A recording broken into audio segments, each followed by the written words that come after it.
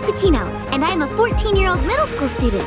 So one day, this strange cat named Luna appeared, turned me into a guardian in a sailor uniform, and told me I had to fight bad guys. Boy, does that ever make me nervous. But I'm sure it'll all work out fine.